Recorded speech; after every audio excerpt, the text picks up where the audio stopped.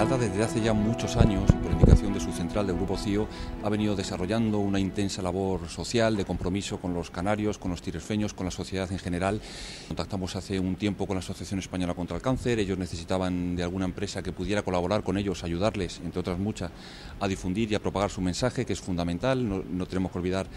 que la mejor forma de combatir el cáncer hoy es día es la detección a tiempo. Entonces eh, estuvimos en contacto, vimos que podíamos hacer una labor interesante, importante por el tipo de producto que vendemos, que está presente en todos los ámbitos de la sociedad y la verdad que ha sido muy cómodo, son tremendos profesionales, tremendamente serios y aquí estamos empezando una nueva andadura en donde Fuente Alta pues quiere seguir comprometido con la sociedad canaria.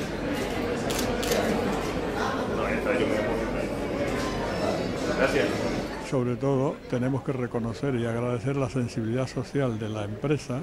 que con esta aportación económica pues nos ayuda a seguir cumpliendo con nuestros objetivos que son los servicios que damos a los enfermos, a los familiares,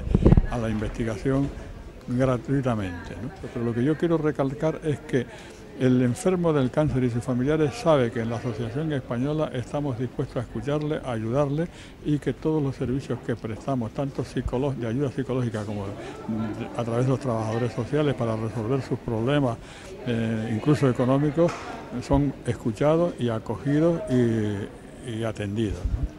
Bueno, Fuente Alta, como sabes, eh, está dentro de un holding de empresas que es compañía de las Islas Occidentales. Ya llevamos mucho tiempo haciendo acciones de este tipo de, de cara a la sociedad, mejora en la sociedad y también en el medio ambiente. Y a medida que ha ido cogiendo peso decidimos crear el Departamento de Responsabilidad Social Corporativa y a raíz de la creación de ese departamento y darle el peso que necesitaba en la compañía, se ha firmado con la Asociación Española contra el Cáncer un acuerdo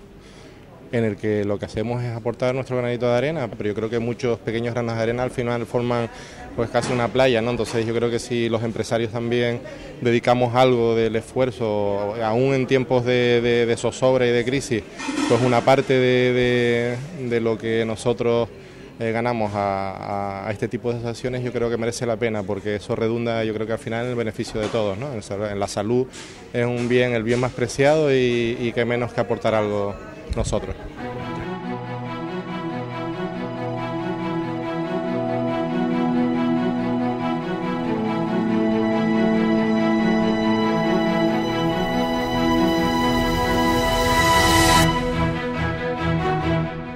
Vilaflor emerge a 1500 metros de altitud en el sur de Tenerife como uno de los municipios más altos de España.